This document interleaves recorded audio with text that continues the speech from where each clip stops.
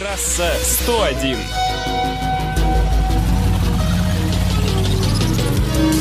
Приветствую, в эфире трасса 101.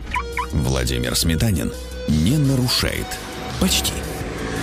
Форд отзывает в России почти 20 тысяч автомобилей. Это седаны Мандео, проданные дилерами с весны 2015 года по конец 2019, и пикапы Рейнджер, реализованные с 2004 по 2012 годы.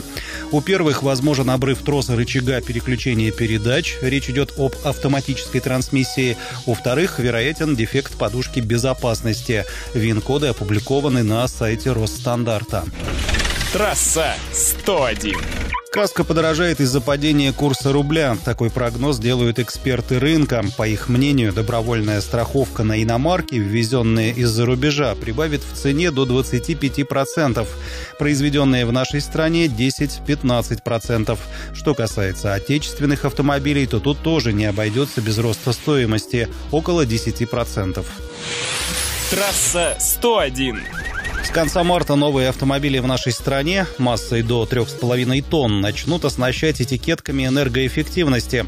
В них будет указываться информация об экологическом классе, выбросах углекислого газа и расходе топлива на сотню.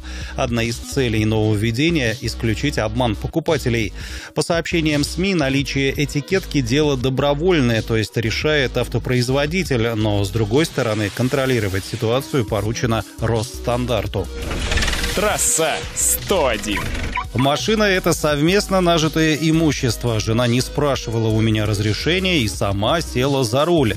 Так защищался в Верховном суде житель Татарстана, которого, а также его супругу, лишили водительских удостоверений. Ее за вождение под градусом, его за передачу управления.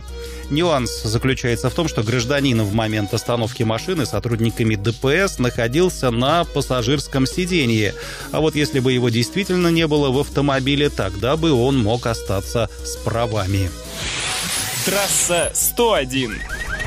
Один из автомобилей премиальной марки Genesis получит 3D-приборную панель. Информацию на ней можно прекрасно видеть не только с водительского места, но и с других точек.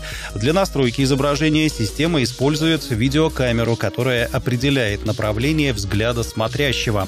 При этом электроника подаст тревожный сигнал, если человек созерцает панель слишком долго. Все-таки смотреть-то надо на дорогу.